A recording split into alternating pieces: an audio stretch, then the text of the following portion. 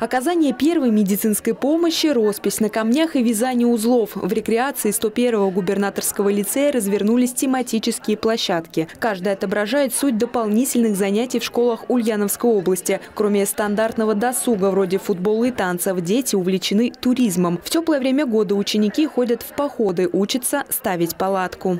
Самый простой для того, чтобы связать, как правило,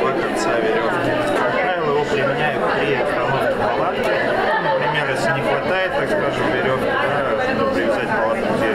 И таких направлений много. Одно из самых популярных – движение первых. Это современная версия советской пионерии. Дети генерируют идеи, пишут проекты и представляют их на федеральном уровне. Это дает ребенку не только площадку для творчества и любимое хобби, но и новых друзей. Движение первых объединяет людей.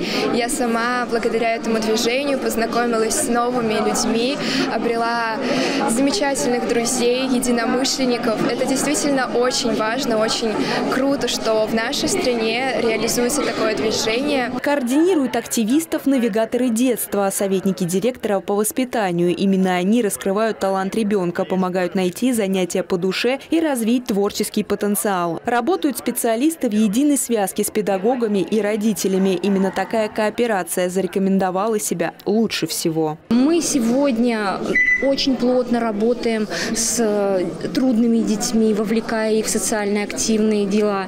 Э, чтобы у них не хватало времени на различного рода глупости. Сегодня я могу точно сказать, что э, различного рода активности, школьный театр, школьный спортивный клуб, э, школьный медиацентр – это вот та среда, в которой ребенок сегодня